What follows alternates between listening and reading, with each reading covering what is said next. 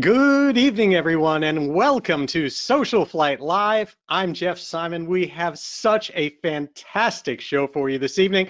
Rod Machado, America's flight instructor and aviation humorist, is here.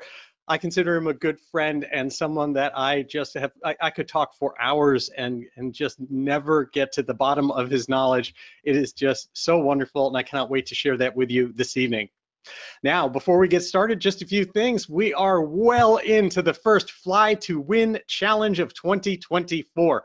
We're giving away a Lightspeed Delta Zulu headset on February 1st. All you need to do is get the Social Flight mobile app for Apple or Android devices completely free. Just check in at your home airport and you are entered into win. If you check in at more airports and use it as you fly to get points and kind of play the game that's built into Social Flight, well, then you can get extra entries if you're on our leaderboard. So lots and lots that you can do and we just keep giving things away here. We are here to support you and general aviation. In addition to that, uh, Social Flight right now, our FAA learning system is getting more and more courses as we enter 2024. And that matters for people that are looking for wings credits as well as mechanics looking for their uh, AMT awards program credits.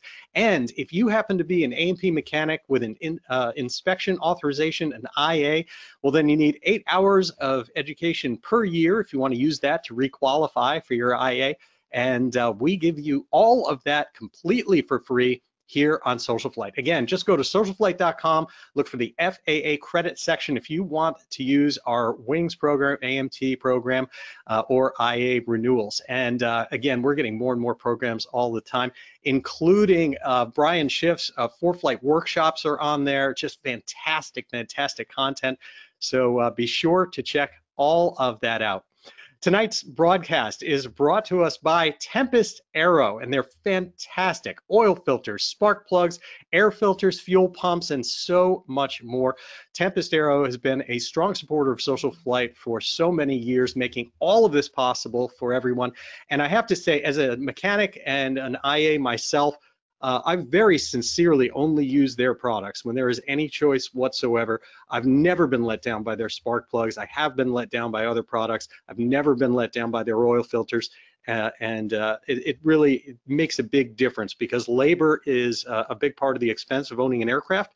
You don't want to change things twice and you don't want problems that can actually damage your engine. And uh, in addition to that, they're always been available, even through the toughest times through uh, the supply chain. So thanks to uh, John and Vince over at Tempest and everything they do for Social Flight.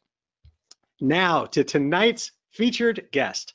Rod Machado, uh, Rod Machado is a legendary aviation author, speaker, and flight instructor, combining his unique approach to flight training with his humorous style that makes learning to fly a simpler and more enjoyable journey as an ATP rated pilot who still gets excited at flying a Cessna 150 during a flyby, Rod has logged more than 8,000 hours, most of it while giving dual instruction. And I'll tell you, there aren't a lot of pilots who can say that.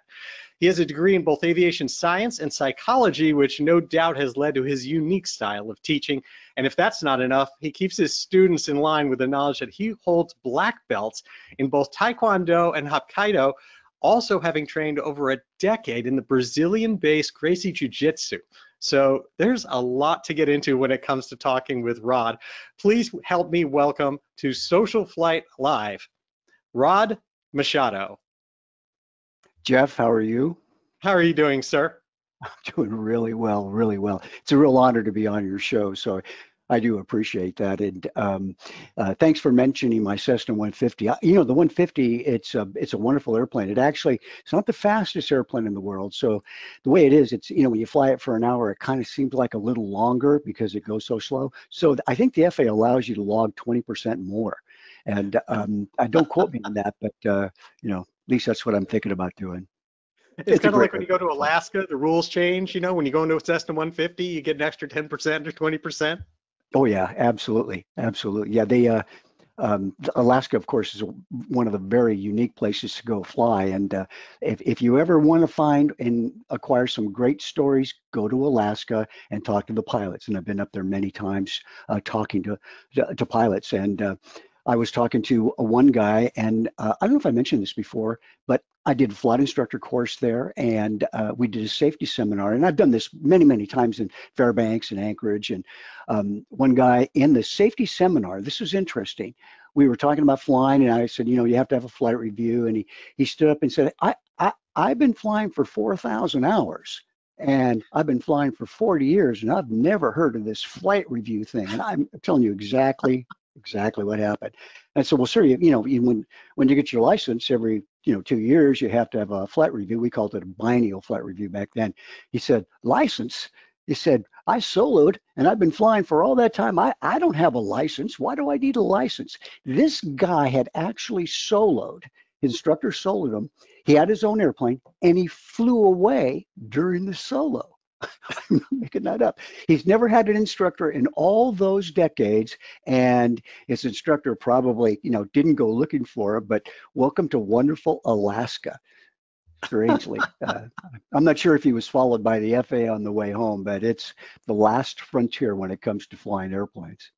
Well, I think with the loophole, if you're not licensed, the FAA doesn't have many grounds to go after you. Someone else exactly. has to. Yeah, I mean, what are they going to do? Take your fishing license away? Uh, that's no. You, you you can get that back uh, even by taking a written test. I think. Like, what do you do when two mackerel are approaching head on? It's an easy test for the fishing license, but uh, aviation, different story.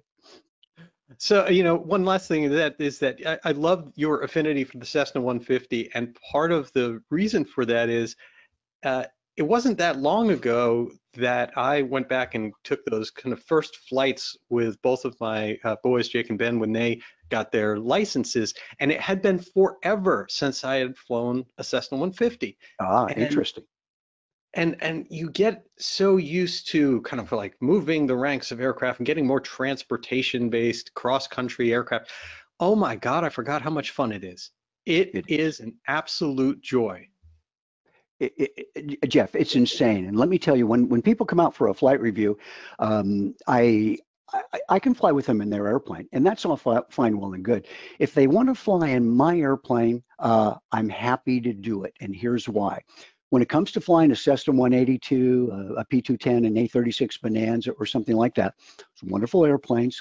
Uh, but if you really want to see whether, from a flight instructor's perspective, whether someone uh, understands the concept of rudder and aileron coordination and attitude control. You put them in a Cessna 150 uh, because if I'll tell you what, any misunderstanding of rudder and aileron use or any lack of skill in rudder and aileron use is magnified dramatically in the Cessna 150. It's uh, very prone to adverse yaw, so you have to be able to crank the rudder in to be able to make the airplane do what you want to do. And attitude control is the most important thing. So I, I, you can immediately tell the level of skill a person has by putting them in a smaller airplane. And if you really want to go beyond that, you put them in a Piper Cub or a Kitfox any one of those airplanes are they're so light. The lighter the airplane, the more challenging it is. Yeah. And uh, in, in particular, the the J3 Cub though, it requires a a lot of good stick and rudder skill to be able to fly it properly. Um, so that's what I do, and it's always a great education for anybody that uh, gets a chance to experience the smaller airplane, assuming they can fit, of course. True. That's important assuming they can fit in and you don't look closely too closely at the numbers on your uh as you do as you're doing yeah. your weight and balance on those. Yeah, well, the, yeah, that's true. There's really not anything to mess up uh, in the weight and balance because you really can't put anything anywhere other than in the main seat. Just got to make sure that you you know don't, don't, put too much weight in the main seat, of course. Uh, but uh, everybody has to remain within limits there. But you know the airplane is just an amazing little airplane to fly, especially if it's the 150, not the 152, which is a great airplane. Don't get me wrong. I like the 150 because with the 40 degrees of Fowler-like flaps, uh, the the airplane uh, comes out of the air if you wanted to uh, at an amazing rate. And if you're ever high and you have to get the airplane down, that airplane can be uh, will do some amazing things on the descent as long as you don't exceed the maximum flap extended speed on it. Wow. So let's let's you know part of the program is look back on on 2023, look forward on 2024. How was how was your 2023 now that it's over? Oh, it was um, it was great from you know my perspective, uh, Jeff. You know, I spent most of my time creating new e-courses. Uh, I updated my private pilot book to a private commercial book and instead of being 650 pages, now it's uh, 704 pages. So I keep making it bigger, and uh, pretty soon it'll be so big you won't be able to carry it in the airplane with you. And if you do, and you need more climb rate, you just throw it out. But it's it, so I've been doing a lot of that. And let's see, uh, Diane and I, we we enjoyed flying the airplane. I I've had several flight review students and proficiency flights is what I've done the most. So I, I do enjoy that, but I keep pretty busy working on my products. And oh, one thing we did, Diane and I took a dance course. Uh, I thought we would uh, increase our dance skill since uh, um, it's easy for me to do because I don't have any. Every time I go dancing, people come up and look for my medic alert bracelet. It's very embarrassing. So uh, what I what I do is I decided I'm going to change that. So we did. So we went to a nice dance place in San Clemente, and unfortunately there was a, uh, a place. It was in the uh, community hall, and in the room next door they were teaching a karate class, and one of the karate guys got mixed up, came into the dance class and started kicking and punching all the dancers. So we had to get him out of there, and uh, so but we we managed to survive. So that's a, how about you? Did you have a great 2023? Excellent, excellent 2023. I, you know, one of the challenges, and I'm curious about your thoughts on this, is of course it was very bittersweet. There was a lot of good things that happened, but we also lost uh, quite a few uh, close friends and and other people. People have been on the show, other people who were uh, who were quite prominent and well known in aviation, and um, I think that it, to some it may, may seem that that it was a tough year on GA, and I haven't seen the statistics to know if it really was widespread or if it was just from those notable incidents. But um, I'm very curious about your thoughts on on that. Well, it's a that's a great question, and uh, certainly we're we're obviously referencing a, a number of prominent people here, and we'll take the the one that people are probably most familiar with right now, and that is Richard McSpadden. And uh, and I knew Richard uh, working at uh, AOPA, and uh, you know, they don't come in any better than that. The man was quite the uh, maven of safety and uh, with incredible skill and capabilities. And here's the interesting thing, though: when you lose somebody of that caliber of skill and proficiency and um, awareness and insight, what that does is it's like a blow to the knees to every other pilot that wants to fly uh, safely. And what happens is when a person first, and, and I thought about this a great deal, even wrote an article on it, I've not published it yet. I wanted to make sure I got this right. So, uh, you know, I trade ideas between different pilots to see how they feel about this, just to make sure I'm on track. But it seems to me that when we first hear something like that, the question we ask ourselves is if it could happen to him, could it happen to me? And the obvious answer to that is yes. We don't even, even have to think about asking that question. In, in other words, uh, the mind is so desperate, and this is a very important aspect about the human mind. The mind is so desperate to find an answer to something, irrespective as to whether that answer is correct or not. It just has to seem correct to you. And when we heard uh, when we heard that uh, Richard McSpadden was was lost in an aviation accident, we ask ourselves, "Oh my gosh, if that could happen to him, could happen to me." So that's the simple question we always ask. The better question to have asked is, would I have taken the same risks that Richard McSpadden took when he departed?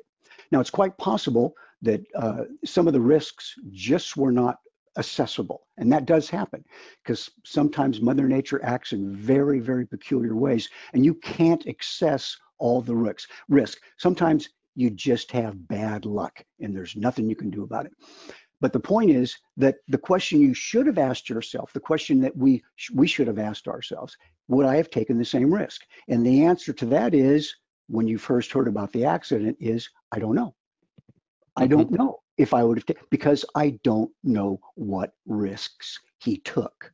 And that's the key, because according to uh, Daniel um, um, Kahneman in his book, Think Fast, Think Slow, we have a fast thinking mind and a slow thinking mind. Slow thinking mind is the logical mind, and it's the one that we want to use to deal with difficult problems. And the fast thinking mind is the one that we just immediately uh, use to answer questions. So Had we uh, used or engaged our slow thinking mind and asked not the question that's easy to answer, would that happen to me? Because obviously, yes, it could happen to me. Uh, we would have been better off by asking, would I have taken the same risks? And then our logical mind, slow thinking mind kicks in, and then we start to think, okay, well, before I feel bad unnecessarily, other than just the loss of humanity of losing a man of that caliber, and, and many other like him, uh, of course, uh, that I, I, haven't mentioned. But the point is that we would have been, we would have done a better service for ourselves, I think. Engaging in the slow thinking mind, would I have made, taken the same risks that this gentleman took? Uh, yeah. was uh, lost in an airplane crash. Does that make sense? Did that kind it, of uh, does. speak it, to you? It, it does. I, I'm curious, as as an instructor, a leader, and a writer, what what your thoughts are on how you how you teach risk to students and how you convey some of that because it it seems to me when I look back myself the the most prominent things in my memory that have changed my behavior are either uh, decisions I made that I shouldn't have and have learned from and feel lucky to have escaped and therefore will never take the risk again mm-hmm. or something that I made a smart decision on that it was hard to make and that was confirmed somehow. Like mm-hmm. uh, you know, a flight I uh, recently where we decided to stay over um, and and not return. And it was a tough decision to make, but then another pilot uh, uh, crashed that night trying to get into that airport. What we were thinking about, you know, uh, toying with, and sure. and that that leaves me with a success. I'm glad about it. Um, but the same thing, it's burned into my memory for that reason as well. Students yeah. don't have that. Young pilots don't have that, and and many other. There, I'm sure there's a hundred, you know, thousands of gaps in my own areas where I haven't filled them with that. So how do you how do you convey, convey that? Well, it's a very good question. You always ask great questions, and uh, I, I I like them. And this is a very very good one. Um, and it is interesting. We have our own self-governing mechanism, and it's uh, it's called the recognition of the unfamiliar when we're flying an airplane, when we see something that is unfamiliar, such as, oh my gosh, there's there's a thunderstorm uh, sitting right over the airport, and we've never seen something like that before, that's unfamiliar. Familiar. And if we attend to that and pay attention to that, then we can engage our self-questioning mode and say, okay, what do I not, what I, what do I know about this? What do I not know about this? Uh, but th that is a very important governor for us. And most people with common sense will recognize things that are unfamiliar that might be a hazard. And that's the key.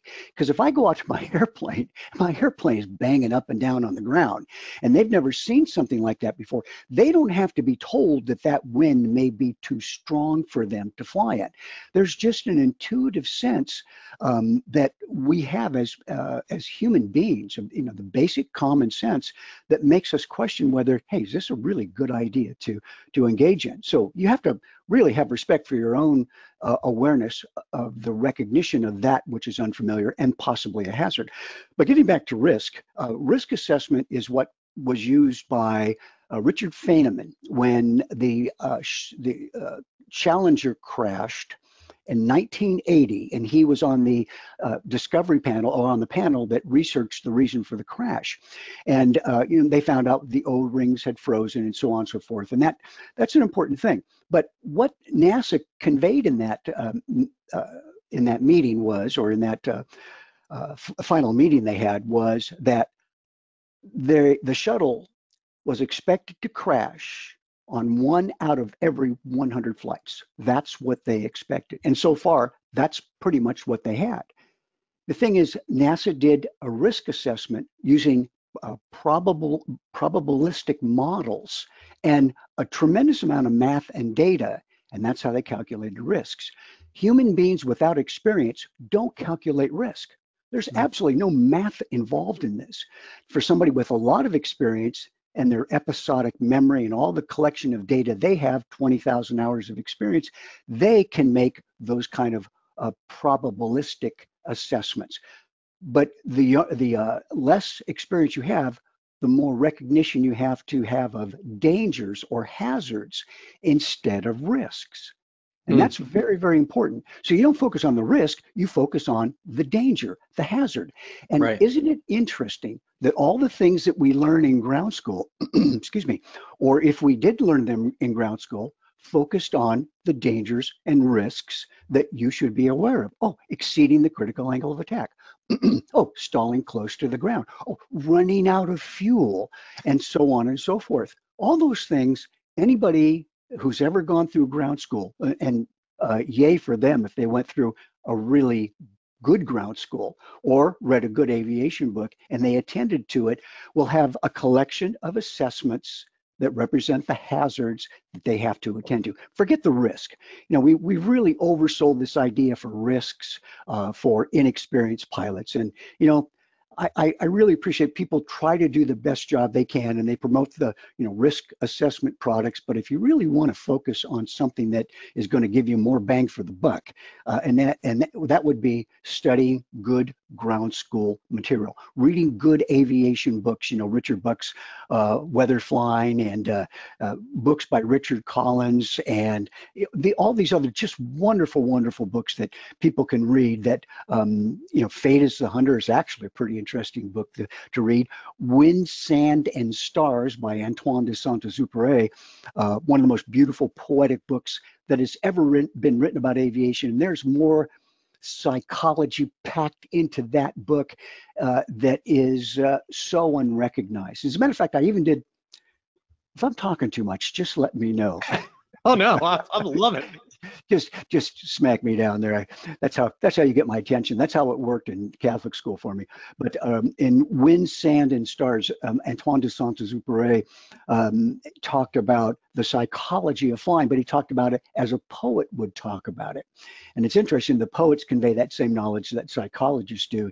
It's just when the poet says it, it's just a lot more interesting to listen to. So the, the answer to your question in my roundabout elliptical nonlinear sort of way is the hazards are what you focus on. You get that from ground school. Leave the risks assessment for the ATPs after they've acquired 10,000, 20,000 hours of flying. Then, when you get that much experience, you'll be able to have uh, the uh, the analog of the a Gray supercomputer, a Cray supercomputer. I'm sorry, they're in different colors now, uh, and you'll be able to make those kind of assessments just based on your memory of events, your episodic memory, memory of memory of stories, things that have happened. You can't do that as a private pilot. What what types of things do you do though as an instructor, uh, personally you that that help uh, kind of give students an idea of what some a little taste of what something's like to get into that you you know at some point they're likely to encounter and you want them to kind of get a vibe for what what is low visibility or what are ceilings or what is this or what is uh, you know whatever it is um, mm-hmm. what kind of things do you do for that well that's a, again another another great question um, the uh, and by the way i just want to say this is iced tea all right just be clear about that I, I naturally uh, become way too excited when I talk about aviation because it's the most fun to talk about. Um, the uh, a good instruct a good flight instructor, and, and there are so many great instructors out there. Unfortunately, there are so many bad instructors too, and they give all the good instructors such a bad name. You know, uh, you you have instructors like David St. George, uh, Rich Stowell, and and and and uh, people. And I apologize for not being able to mention even even a, a, a small number of the great great instructors that are out there. Uh, but this is what these guys do. The they put them in an airplane, and they if they can't give them direct experience, they simulate that experience. As a matter of fact, in the FA's handbook, I got it right here. This is the FA Flight Instructor Handbook, 1969 version. This is one of the best books on flight instruction I have ever read. Now, the FA's got a brand new book out, and it's on the Flight Instructor's Handbook. It's three times as thick as that, and uh, it's okay. But when it comes right down to meat and potatoes, bang for the buck, go on the internet, see if you can find a copy of this book and get the PDF or something. And uh, because the teaching material in there is powerful. And what the FA says in that book is to simulate the experience you cannot give directly. That's why, you know, with, with a student, if you're flying with me, I'll, at the right time, right place, I'll reach over, pull your throttle back. Everybody does this now, of course, and I'll say, your engine has just quit. Now, some of the brighter students will say, no, it, it didn't. Look, somebody pull back the throttle and they'll push the throttle in, okay, because, you know, that's the way my students are. They're very playful. But uh, we simu simulate engine failure, and that's one way. But of course, you know, and, and that's a very common thing. And you should do that so you find a place to land the airplane, go through the procedures, best glide speed, re engine restart, and what have you.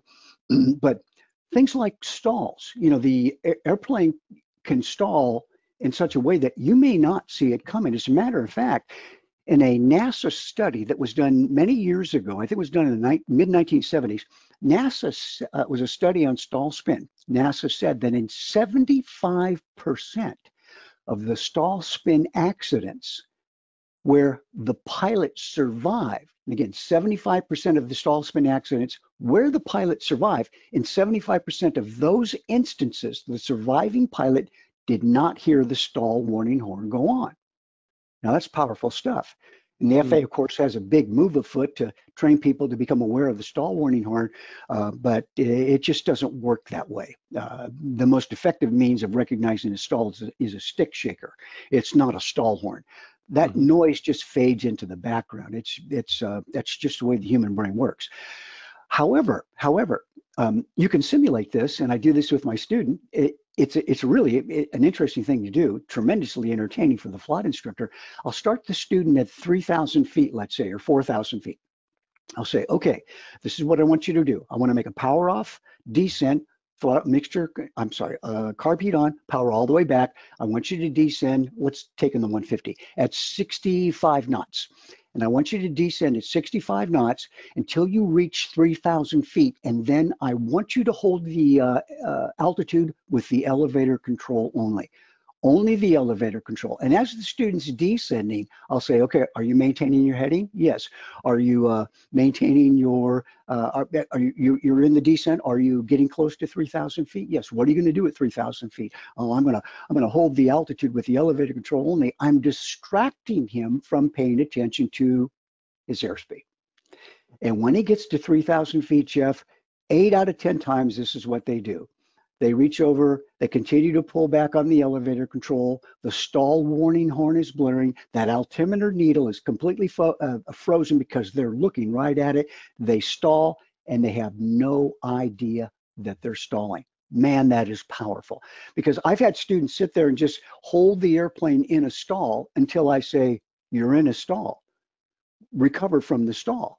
And I have to cue them in to actually do that. And uh, once that happens, once they could see how easy it is for them to um, not use their training, training they have in recovering from stall, because they they can't get past the stunned response in this uh-huh. case.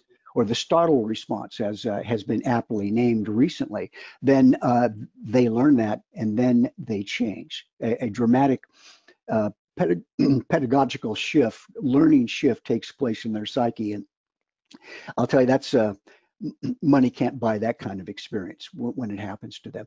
But then there are there are a lot of things like that too. You know, um, simulating icing conditions with a student during IFR flight. I'll say, I'll uh, put the hood on, and and I'll I'll say, okay, uh, open up your sectional chart. You're picking up ice. You're going down. Find me a place to put this airplane down. You have a 500 foot ceiling um, above ground level, and I start retarding the throttle. Uh, uh, uh let's see, how do I normally do this? It depends on the kind of airplane, but normally I'll pull the throttle back and I'll uh, reduce the manifold pressure one minute, uh, one inch of manifold pressure for every minute that goes by, or 100 RPM for every minute that goes by, which gives them about, you know, maybe about uh, seven to eight minutes of effective time to find a place where they can descend over and get below the 500 foot overcast. So there, there are quite a few things that flight instructors can do, tricks in the bag, so to speak, to help train that. If you have a good instructor, uh, you'll come away with a tremendous education uh, as a result of that instructor's uh, acumen and knowledge. That makes a lot of sense. And, and you know, one of the things that uh, I think it would be wonderful if flight instructors, and then quite frankly, even when people are, are already licensed, uh, would have the opportunity to do with a qualified instructor, uh, is to experience some of the conditions so they can actually translate what is what do these numbers look like? Like okay there's a big difference between you know an 8 to 10 or 10 mile visibility and 5 oh, or yeah, 3 like or 1 which is perfectly yeah, legal what, what does it really look even if you're just a passenger for it what does it really look like so that when you see that number and you've got get homitis or you're thinking about it or you're trying to get to a certain airport you really know what it's going to you know, at best, what it's going to look like. Yes, yes. Eh, well, think about this: that one mile visibility is the lowest visibility that you can legally fly in as a VFR pilot in Class G airspace, or for that matter, under special VFR conditions when departing a, a surface-based controlled airspace. And yet, one mile visibility is the minima on most very non-precision approach charts where you have a, uh, a, a, very you know non-precise means of navigation, less than precise, like an NDB approach. Uh, in this case, one mile visibility can and can be the lowest minimums that are available to an instrument pilot. So you're basically flying with uh, in VFR conditions with the same minima that an IFR pilot might be flying in in order to be able to find the airport. And uh, the the you know the best way to to be able to handle that other than dirtying up a student's glasses, which doesn't work. I've tried everything. Uh, really, I've I've tried everything. It just the best way to do it. Believe me, I've I thought of a lot of creative ways to simulate low visibility is to wait for a low visibility condition and go up and do traffic pattern work. Mm-hmm. That's the thing to do. Um, you can do that at a Class G airport, let's say, uh, you know, where you pay attention to any instrument approaches that may be coming into the airport. You have to be careful because people may make instrument approaches in Europe that are doing touch and goes, which by the way, you can do touch and goes in many cases with a 700 foot ceiling, one mile visibility uh, during the day. Not that that may be the wisest thing to do, but it is doable and it can be done safely. Absolutely, uh, as long as the flight instructor is aware of uh, the hazards, not the risks, the hazards, and where right. those hazards, what those hazards are. Very important to use that term. Um, but but the uh, the deal is when you see what, what it's like to fly with one mile visibility, your whole perspective changes. And right. now you think, oh my gosh, you know, a one mile visibility, if I'm flying at 60 knots, I'm moving at one mile per minute, 90 knots, one and a half miles per minute. So uh, things, a lot of things can happen in one minute, and uh, eh, that eh, things change. And if you can't see more than one minute ahead of you, in this case, that's that's real sobering. But it takes again a flight instructor that's willing to do that. I did that with my students, uh, IFR students. We'd always go up and fly in reasonable weather and in Southern California, uh, well IFR weather. And and to be fair, flying IFR in Southern California, it's not like flying IFR in Tucson, Arizona. Uh, there's that's an entirely different type of experience because you're dealing with a lot of convective weather. So, you know, fortunately in California, you, you, get all kind of weather, but you get a lot of low stratus clouds and what have you. So all my primary students and IFR students got a lot of actual time, especially during June, the June gloom conditions, as we used to call it.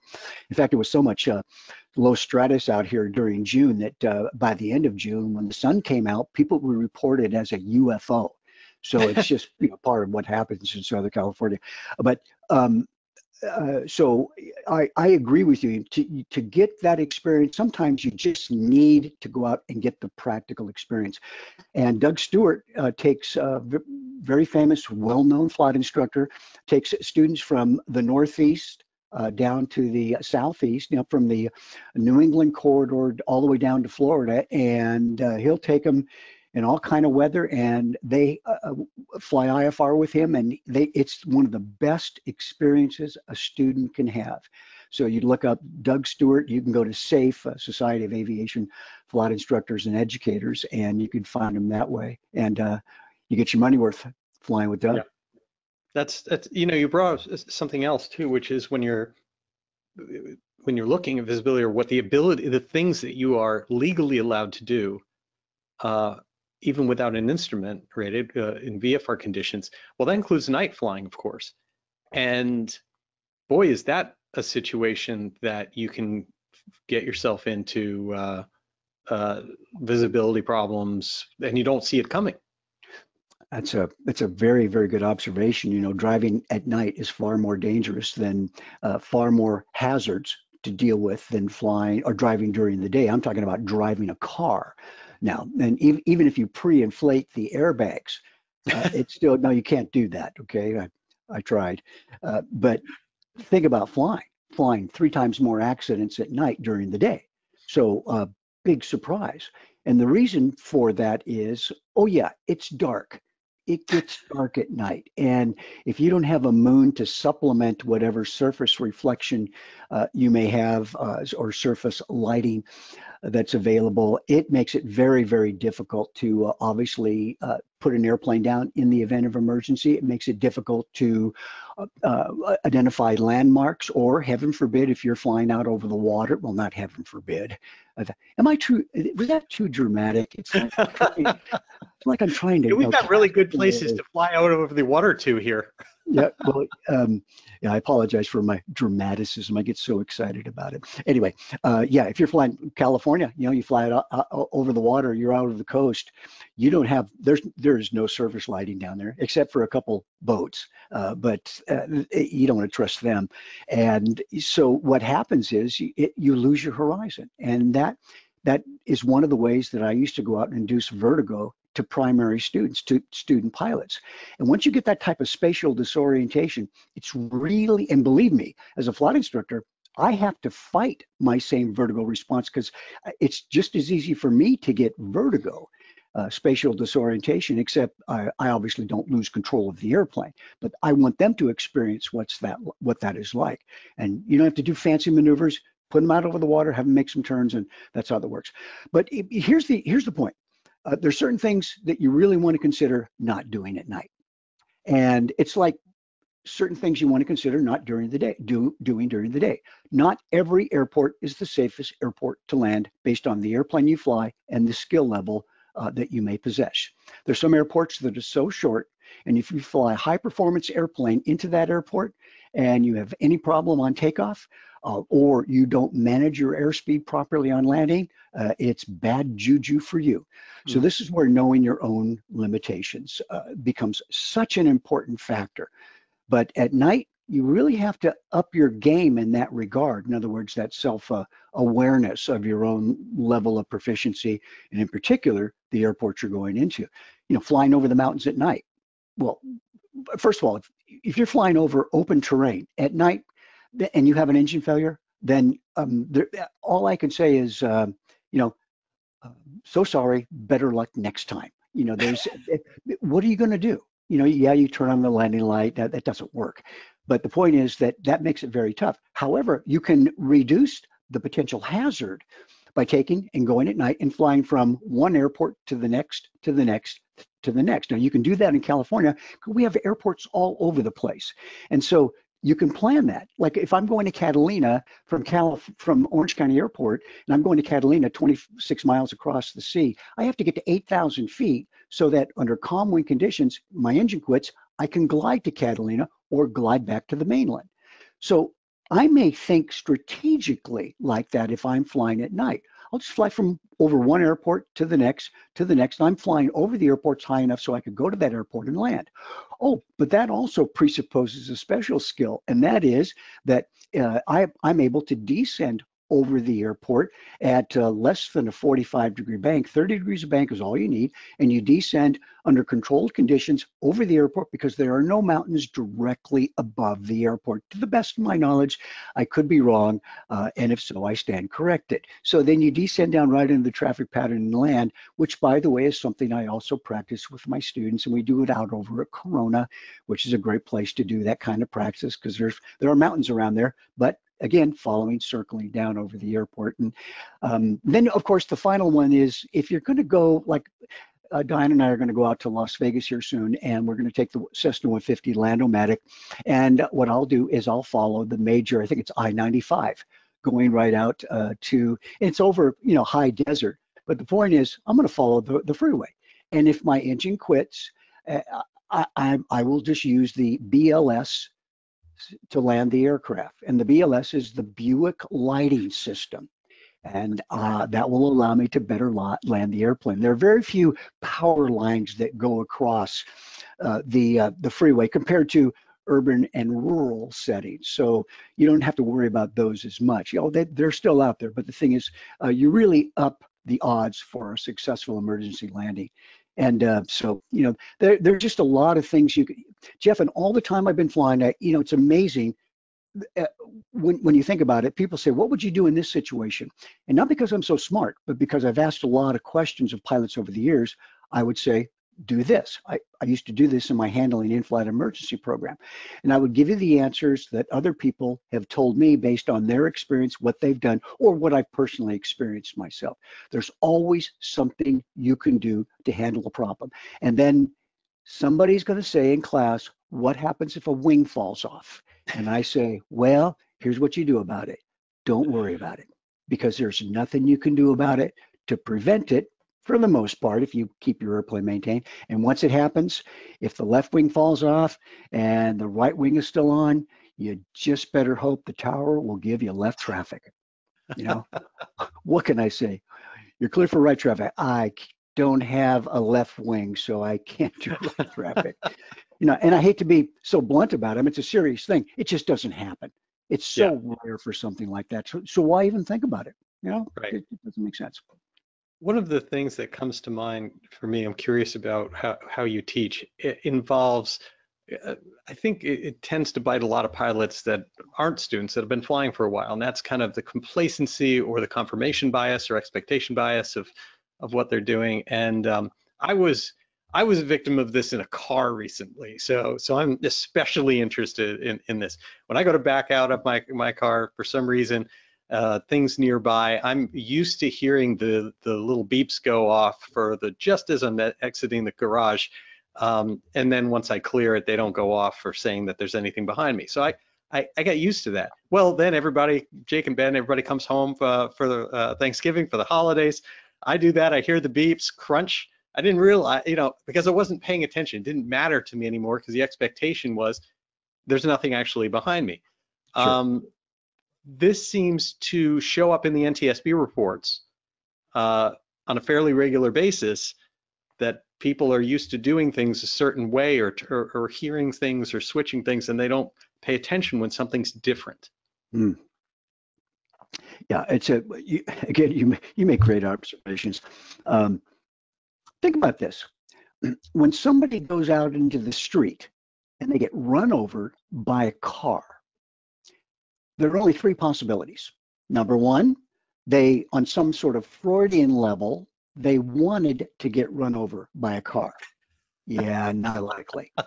Number two, on some sort of um, cosmic or karmic level, they needed to get hit by a car. Yeah, I don't think that's the case. Or the third possibility is they didn't pay attention when they went out in the street. I think I'm going with item or door number three. And the idea of paying attention is is really is really the key. And, and in fact, it is so fundamental. I haven't figured out how to make it, uh, how to make the story of paying attention so unique, so powerful on some sort of Shakespearean level that when people hear it, they are awed by the, the cadence and pace and colorful use of language because it's just so obvious, but it's just something that people don't give the proper weight to. And uh, uh let me further explain. Um, Harry Lorayne in a book, actually we were talking about just before we uh, we went went live here. Harry Harry Lorayne, L-O-R-A-Y-N-E, I believe, wrote a book called The Memory Book. And in that book, he said, it's a powerful statement. He said, you cannot forget something uh, of which you were originally aware. Originally aware. And what original awareness means is that you stop and you say, okay, this is important. I'm going to pay attention to it. And that is called original awareness. Now, that requires self reflective thinking. In other words, hey, I, me, the I, me is going to pay attention to it, the it thing, that's important. So, um, the, the question is, how do we get ourselves to pay attention to the things that are important? And uh, and I'll give you a powerful story for this that happened to me. Um, we live up on a, on a slope down below, there uh, a, a, a, small track of homes. And one day, 11 o'clock in the morning, I came out and I saw smoke coming from one of the homes. So I go, oh my God, because, you know, that's the slope people live down there. So that's that's what I called the story I wrote this about. So I thought, oh my gosh, I got to go down there. I, I got got to help the folks. They don't realize their house is on fire. I run down. Turns out the, the nobody could find where the fire was coming from. Okay, fine. So I knocked on about seven or eight doors. They all thought I was crazy. So I came back home, walked up the hill, back into the house. 30 minutes later, I look out, I saw more smoke. I thought, oh no, it's a it's a delay release smoke fire. So I run down again, and as I'm running down the hill, I stopped and I thought, I'm going to be so embarrassed. I'm going to get in so much trouble. And I do I really want to do this? And then I asked myself this question. And here's the question. I said, what is the right thing to do? And immediately I knew the answer. And the reason I knew the answer is because my training kicked in. Let's call it my moral ethical training kicked in. Yeah, it doesn't matter if I'm embarrassed that's the right thing to do. So I ran down there and seven or eight doors and what have you, and they all thought I was honest. They thought I was crazy. I got scrapes on my face from the bushes and everything. I looked like a madman going down there, and there was no fire. And we have yet to figure out where it came from. But you know, I did my civic duty. Asking ourselves selves self-referential questions is the key. And I'll give you an example of that. Several weeks ago, I flew with a friend of mine, and he is a one of the most competent pilots I've ever flown with. But he and I have a disadvantage when we fly. He's a professional comedian, a, world-class ma- magician, an insanely competent pilot, and uh, of course, I made my living as a humor, aviation humorist for many, many years. And when you put two of us in together, you can imagine uh, the uh, potential for not paying attention. So what I have to do is to purposely engage that self-referential thinking and say to myself, okay, uh, when I'm on the ground, where am I going? How do I get there? What do I do next? What's the taxiway I'm going to? Oh, it's Taxiway Hotel. Uh, I got to write that down. Make sure I know exactly where that's at. What's the route to Taxiway Hotel? And I'm doing all these things in the back of my mind. And I'll guarantee you, I'll guarantee you, if I forget to do that, I so easily can be swept up in the, uh, let's say, the euphoria flying with with my buddy, who I dearly enjoy flying with. Um, and so, and even with my wife, we have such a great time when we fly. It's easy to get carried away and not pay attention. So I have to focus myself. It's asking questions. What's the right thing to do? Where am I going? How do I get there? What do I do next? Or as I do with my students, tap them on the shoulder and say, uh, and I'll, I'll do this in the traffic pattern IFR students, I do this, you know, six, seven times uh, minimum a flight. What are the next two things? And the student will give me the answer. What are the next two things you have to do? Oh, okay. Oh, yeah. Uh, I got to uh, um, connect the Hobbs meter back up and uh, say we're going to be late. And you know, whatever they they come up with weird things because they have a good sense of humor. And uh, if I'm making an instrument approach, I'll say how low, how long, which way. I have a series of things that I ask that give me the information uh, that I need, that guide me. Because the mind is so mercurial, it's so easy to get distracted.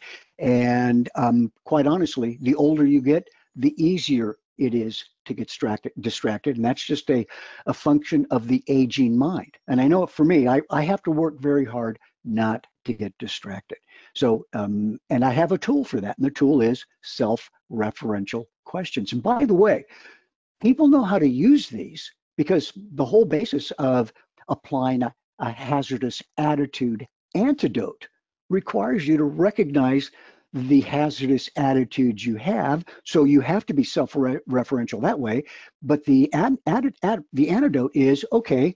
Um, uh, what do I have to do to stop being aggressive? What's the right thing to do? How do I handle my anti uh, or my aggressiveness uh, and mm-hmm. apply that antidote that way? In other words, uh, for aggression, it would it, uh, for anti-authority. Let's say uh, the rules are often right. Follow the rules. They're not always right, but they probably are right in this instance. So uh, you know that's my response uh, to your to your question. It's, it's it's so powerful. This this idea of self-referential questions and guiding the mind. The the the, the mind is like it's like a puppy dog. You know, you uh, it's it, it sees uh, something uh, sparkly and shiny. If it looks like a bone, that's even worse, and it's off after it. So you know, that's how it works. That is so cool. Um, let's switch gears for a second because with with one of the things that's been big news in 23 and going to be bigger news probably in 24 is artificial intelligence Mm. and what we have started to see AI affecting so many different things. That's so true. What do you think that AI is going to do to flight training? Yeah, that's uh, as a matter of fact, I, I, I added about two pages. I, I wrote two pages on AI uh, in, in reference to simulators in flight. In an article I wrote uh, on the flight instructor problem. Oops, excuse me. Oops. I just pulled my microphone out of my ear. Oops. There's a word you never want to hear in a tattoo parlor. Oops. okay, sorry. Sorry about that. Um, so the, uh, the the blog article I wrote, you can read it at rodmachado.com. It's the newest blog on that uh, piece. But um, here's a here's a prediction for you.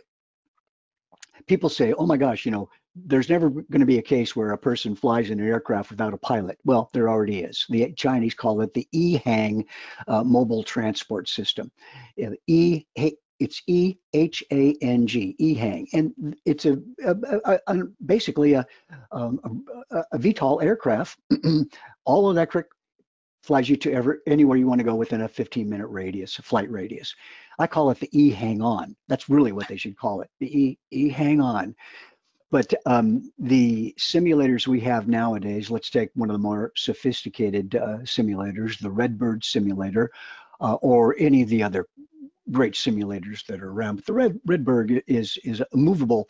Redbird is a movable simulator. It gives you that sensation of being real, you know, in the aircraft. Not that you need that, but hey, if you can get it, take it. I claim that you'll be able to teach a pilot. A pilot will be able to self-teach himself or herself how to fly, at least to a point of acquisition of 80% of the skills, maybe even more uh, by using artificial intelligence as an instructor platform. You take artificial intelligence, let's say on the level of chat GPT, even four right now, or chat GPT 5, or, uh, um, or general artificial intelligence, which is up and coming. And, and it would be like having a real flight instructor that teaches you how to fly. And folks, you can do this on a desktop simulator. You don't even need the fancy simulator. Like, and I know this for a fact because I've seen it done. I know ex exact cases where it has been done at Cypress College, and the instructor there uses uh, the Microsoft Flight Simulator uh, with his great uh, Ed Ed Valdez Captain Ed Valdez is the instructor there. He's, he's just an insanely good instructor too. And his students take one semester course and one of his students at the end of the semester course went out and flew a demo flight, took the airplane off, flew the airplane around, came back and landed and the instructor never had to touch anything. And he had never, uh, I'm sorry, I, stand corrected. The student had only had one demo flight before that. So on the second demo flight, he did everything by himself. And that is going to be the rule, not the exception. Artificial intelligence can do that. It, it will replace the instructor um, to the extent that 85, maybe even 90% of the training can be done by the student on his own or her own, and the, the flight instructor then does the finish up the uh, final polish or gives the essential training that cannot be provided uh, by a simulator um, and you know flight training device, advanced flight training device. But it may be scheduled so that maybe the student flies with the uh, instructor after five hours of self-training. I'm not sure how the uh, schedule of, of uh, training and reinforcement will take place there. I haven't really thought about how to do that, but let me tell you, it's already been done. It's it's already been done, and wow. that was done back in 2004 with the uh, first issue of the flight training lessons in Microsoft Flight Simulator, which, by the way, I wrote. I wrote those lessons and they used basic software, nothing even close to what artificial intelligence or let's say uh, artificial uh, uh, uh chat GPT 3.5 or chat GPT 4, which defined the, the current level of uh, availability of artificial intelligence for use by the general public. I think it's Chat, Chat GPT 5 now, but um, that was just software built into the program and it offered feedback. And uh, the feedback was, I would say to them, okay, um, you're doing well, pull the nose up, you need to go over here, add some power here, and, and it was great. And one cute story there, one, one father was flying the simulator. He was taking my lesson. I'm talking to him. Okay, looking good. Okay, a little more nose up. You're losing a little altitude there. And the son is right next to him, totally focused on the simulator. And he's watching his dad, and his son's getting all into his dad doing a great job. And I said, okay, you're losing altitude now. You need to pull the nose up. It's time to pull the nose up, preferably today the nose may not be available tomorrow. I had a bunch of humor in there. Pull the nose up now. And the kid yelled into this computer screen, he's doing it, TV man. And uh, because, you know, his dad wasn't really doing it as well as uh, as quick as I needed him to do it. But I, I just love that. He's doing it, TV man. so that's how it works. I I love that, and I and I have used that. Uh, I love the fact that you created the courses and that you're part of all of that uh, out there. Do you, you know? Oh, and, and by the way, let me just say say this if I can. Uh, you have to give credit to the team at Microsoft because those guys were they developed a cutting edge program that uh, was not available at the time. Yeah. Nobody thought they could actually do that. And of course, those guys over there are so insanely smart. Bruce Williams and um, and Kat and all those other uh, wonderful folks that are available. So uh, there, and you know, that was their masterwork. So anyway, I'm sorry, didn't mean to interrupt. Oh no, no problem. It's very, very, very true. Um, do you think that artificial intelligence and its impact on on aviation, especially on flight training, will be similar to other technologies that have come along where it it kind of takes over a whole bunch of things that could be kind of automated and it moves the professionals in the industry towards the higher end and and, and just towards refining skills or be or imparting even more uh, kind of intelligence around it uh, and, and sensitivity around it. Or do you think this is so revolutionary that pilots, uh, uh it's going to make it possible for pilots to, to be, to get, the AI will have perception and will be able to teach them in ways that will exceed what we've been able to do. Um, I, I think that uh, if I, if I understand your uh, question correctly, I, I, will AI be able to assist the pilot perhaps in improving the pilot's skill uh, and raising their, elevating their level of performance and proficiency um, and making pilots better. And we're talking about professional pilots here. I'm sure well, yeah, yes, or I'm actually All asking, will its existence actually make flight training far better? Oh, oh, oh, oh yes, is, yes. Oh, than, it is, than it is today without a doubt without a without a doubt. You know computers don't yell at you. Computers don't uh, you know stop flying stop training you to call their girlfriend on a telephone uh, which by the way happens more frequently than you might uh, than you might think. Uh, I get all the horror stories by the way. Uh, so I I I I'm I'm in the know, so to speak, about everybody writes me and tells me about the crazy things that happen to them. And I want them to do that. I, I, I want to hear this stuff. It's my job. So yes, it'll make flight instructors, uh, it'll make the training experience a lot better. I don't see how it can't. It's certainly not going to make it any worse. I cannot imagine how that can happen. Now, don't get me wrong. There is a, uh, th there's one thing a computer can't convey, and that is this idea of, uh, of uh, building confidence in you or you cannot have it's it's hard to develop trust in something that is an inanimate object it's hard to develop trust uh, in something that's just uh, uh, circuits and uh, integrated circuits and uh, you know quantum computing and things like that. You, you, we like to be near a human being because human being gives us confidence. So I, I don't AI is not going to replace the human being in my profession, but what it will do is it will compensate for um, the uh, the things that the bad flight instructors bring to the table when they train their students. I think mm-hmm. that's the best way. Unfortunately, there are just a lot of bad instructors, and and there are a lot of good instructors too. But some instructor would rather be uh, building time to get to the airlines and not pay attention to their students. It's always been a, a problem. There's a recent example of that in Kentucky where a student took off and with his instructor and the instructor flew him right into a, a thunderstorm while he was berating him and filming him. And that's the exception rather than the rule though but it does happen. And AI is not going to do that. So there's the building of skills early in the training area, and there's a good CFI. More good CFIs will be available then uh, to train these uh, uh, these students that are being self-taught by AI at home. You know, and it really would have been better for the FAA to go back to hiring uh, airline pilots at 500 hours because then all the bad instructors would be moved into the airline cockpit, which, by the way, people say, oh my God, that's a terrible idea. No, it's not a terrible idea uh, because a lot of people who are bad flight instructors ended up in the airline cockpit and now they have adult supervision. And there's nothing like a senior captain uh, pointing his finger at you saying, don't ever do that again. Don't touch that. Don't look at that. Don't touch my controls.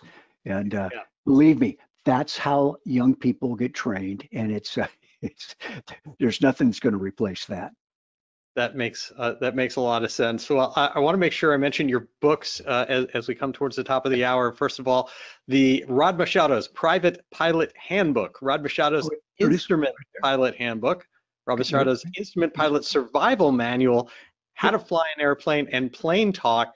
And all of this is in addition to all of the online work that you do and everything that's available at rodmachado.com. Tell me a little bit about kind of some recommendations for for people approaching this whether let's say the picks for the folks that are just getting started and those of us who have a, a little bit of gray hair and time in the cockpit. Listen uh, the private pilot handbook or the private commercial handbook it's actually i updated it it's 704 pages. And uh, the instrument handbook instrument pilots all they're all updated uh, uh 2024 compliant 2024 ACS compliant. I update these things as soon as anything changes and in the next reprinting cycle, that goes right into the book. Ebooks are always updated. And um, so any one of those books is great for a refresher. My How to Fly an Airplane Handbook, which is the one right up, oh, right there. How to Fly an Airplane Handbook is, is one of uh, one that I'm most proud of because uh, there, uh, in that book, I talk about all the flying techniques I learned at Amelia Reid Aviation, basic stick and rudder, World War II flying skills. People don't teach those things anymore. And uh, those are the things that keep you alive, kept a lot of pilots alive in World War II. Now, I don't mean shooting down other students in the traffic pattern and things like that, but I'm talking about great stick and rudder skills, uh, stalls, recovery, anticipation, plotting, planning, scheming when you fly an airplane. Uh, it's, it's all in there. I'm, I'm very proud of that book. That's that's fantastic. So uh, to everyone out there, of course, make sure you go to rodmachado.com. It's all available on there. Rod, thank you so so much for taking time out of your evening and joining us here again on Social Flight Live. I, I really consider it a privilege and any uh, love love it being an, an annual event oh, uh, where we all get to kick off the year with you, with you and your wonderful knowledge. You are so kind, Jeff, and kudos to you. It's always a pleasure uh, being on your show. You, you you ask the most amazing questions. This always tickles me. Okay, you you uh you speak my language. well, that's very kind of you. Have a wonderful evening, and thanks you thanks so much again. Thank you, my friend. Good luck to you, and have fun. We'll talk later. Take care. Bye bye. And to all of you, thank you for everything that you do for general aviation and for joining us here on Social Flight Live. We'll be back next week, Tuesday, January 16th, with shuttle astronaut Anna Fisher. Uh, she just had some wonderful, wonderful stories. Such, so many firsts that happened under her watch with NASA, uh, and uh, it's going to be a great show. And then on Tuesday, January 23rd, we're staying in space for another week, and uh, at uh, we are going to be joined by Michael Menzel who is the lead engineer on the James Webb Telescope. Um, there's, boy, just do a little bit of search, uh, searching on what has come out of this amazing feat of uh, aerospace technology and uh, what it's going to do for science. You really do want to hear what Michael Menzel has to say.